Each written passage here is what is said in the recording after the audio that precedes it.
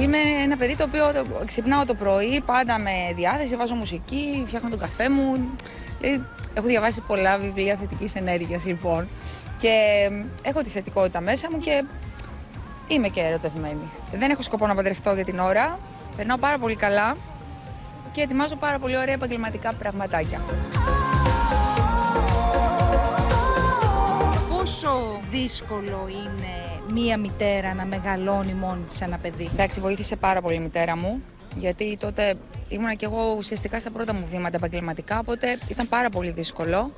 Ε, τώρα μπορώ να πω που μεγάλωσε κάπως και τον έχω εγώ αποκλειστικά, μ, είναι λίγο καλύτερα, ε, η συμβίω- είναι καλύτερη η συμβίωσή μας με το χάρη. Οι σχέσεις με τον πατέρα του, με τον Βαλάντι, Πάρα πολύ καλές, άριστες.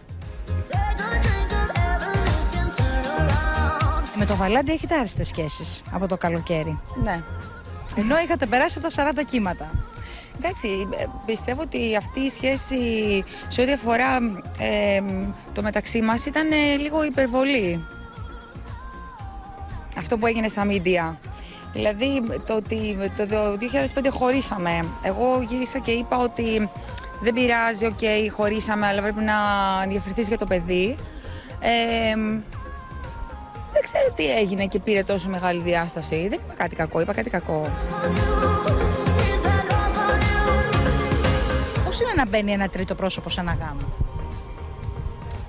Απόλυτα φυσιολογικό. Γιατί το θεωρείς φυσιολογικό; Γιατί υφίσταται πλέον. Άρα από τη στιγμή που υφίσταται είναι φυσιολογικό. Μου είχε τύχει να ερωτευτώ άντρα που ήταν με άλλη γυναίκα. Και μόλις έμαθες ότι είναι με κάποια άλλη γυναίκα χώρισες; Ε, ήταν πολύ δύσκολο.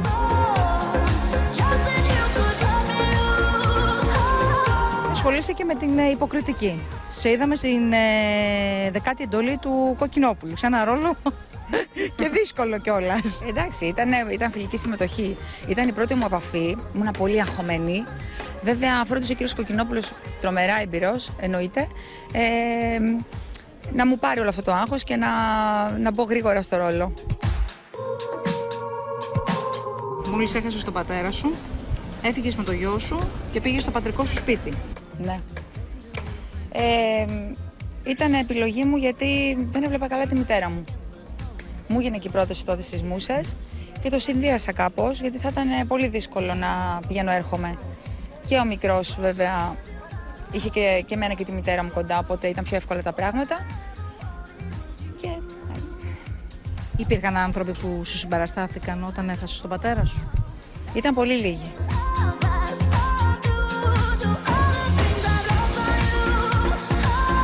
Έχεις ε, ζήσει την απώλεια συντρόφου σου που ετοιμαζόσασταν για γάμο, τα είχατε όλα έτοιμα και τον έχασες ε, ξαφνικά.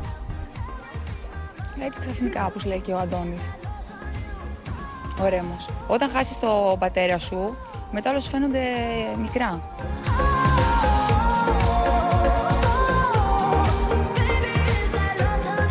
Ακροβατώ σε ένα σκηνή Δύσκολα, πολύ έχει περάσει και φαίνεται έχει αυτή τη θλίψη στο πρόσωπο, στα μάτια της, παιδί μου. Παρ' όλα αυτά πρέπει να είναι μια πολύ δυνατή γυναίκα και την ευχαριστούμε πάρα πολύ Είναι κιόλας πολύ που μας δυναμική. μίλησε. Έχει και ένα παιδί που ξέρεις, όταν ε, έχεις ένα παιδί, τα δίνεις όλα εκεί. Το έχουν προστατεύσει πολύ το παιδί από τα μίντια πάντως. Ναι, πουθενά. Πουθενά, μπράβο τους, μπράβο τους, Είναι ναι. απόφαση και των δύο. Ναι, αυτό είναι Ε, σημαντικό. Δεν, τους- δεν το έχω δει ποτέ το παιδί να εκτίθεται. Πουθενά, όχι, όχι, όχι. όχι. Συγγνώμη να ρωτήσω κάτι. Ε, πολύ ωραία, η γυναίκα όντως έχει περάσει πάρα πολλά. Ε, μου έκανε εντύπωση μια δήλωσή της που είπε ότι ο, το τρίτο πρόσωπο σε μια σχέση είναι φυσιολογικό να έρθει. Δηλαδή, ότι ρε παιδί μου το περιμένανε, πότε θα έρθει το τρίτο πρόσωπο, ήρθε πολύ φυσιολογικά. Όχι, όχι. Δηλαδή. Όταν ε, ε, μία σχέση δεν πηγαίνει καλά και έχει κάποια σκαμπανεβάσματα, ότι. Λες τι θα γίνει, Ότι το θα τρίτο κοιτάξεις πρόσωπο θα έρθει αλλού, σίγουρα. δηλαδή. Ότι Αυτό- ναι, αυτό εννοούσε. ότι ναι, είσαι επιρρεπής και θα κοιτάξεις Φέρτε και την αλλού. και κοπέλα θα εδώ δεις να την κάποιος. γνωρίσουμε, αφού μας κάνει και καλό. Εντάξει, όμως ήταν ειλικρινής η Έλενα, που δεν το λέει πολλοί κόσμος αυτό.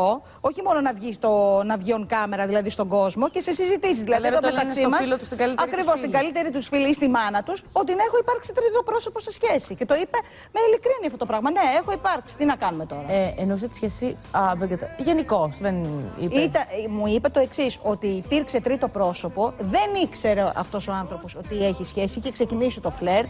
Μετά έγινε ότι έγινε μεταξύ τους και βέβαια χώρισαν μετά. Ναι, εννοείται. Επίσης, Ε, δεν γνώριζα καθόλου Και με στεναχώρησε πολύ δηλαδή που το άκουσα ότι αυτό που είπε πρώτη φορά